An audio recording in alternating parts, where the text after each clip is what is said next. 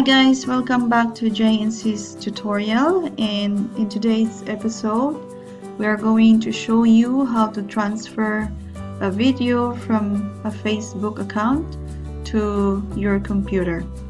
So first and foremost, let's log into your Facebook account like what I did already.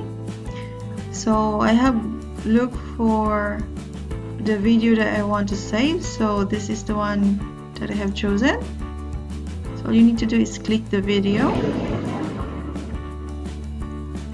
Let it play for a few seconds. You don't have to play the whole video.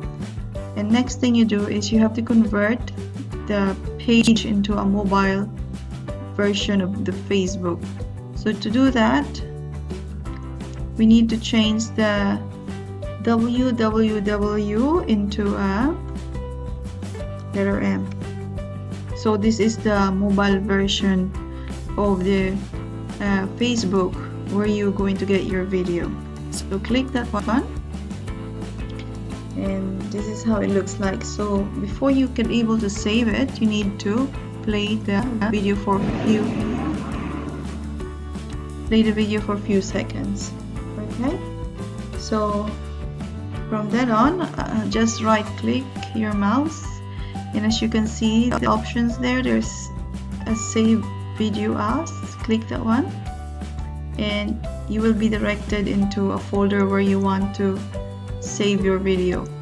So as you can see it is now in uh, mp4 format. So for me I want to save it in my desktop. Okay and you can rename it. I say uh, sample. So it will be on the top and we can see it easily. So click save.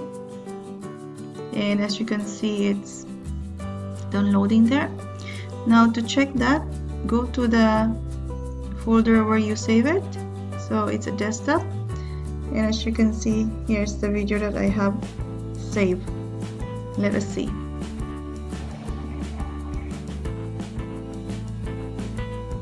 Let's check until the end.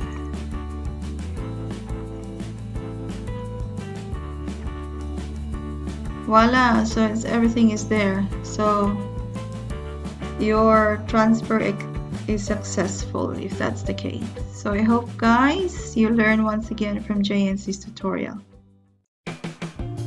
Thank you very much guys for watching our video tutorial.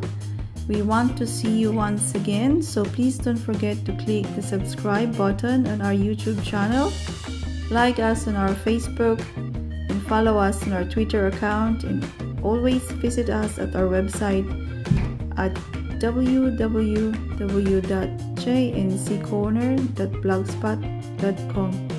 Bye for now and all the best.